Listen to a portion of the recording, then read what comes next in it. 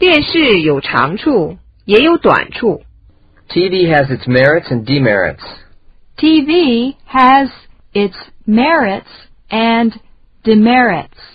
我利用了他的弱点， I took advantage of his weakness. I took advantage of his weakness. 我长了不少见识。 I've learned something. I've learned something. 那会引起火灾呀！ It's a fire hazard. It's a fire hazard. 什么事都有可能发生。 Anything could happen. Anything could happen. 将来可以用来做参考。 For future reference. For future reference.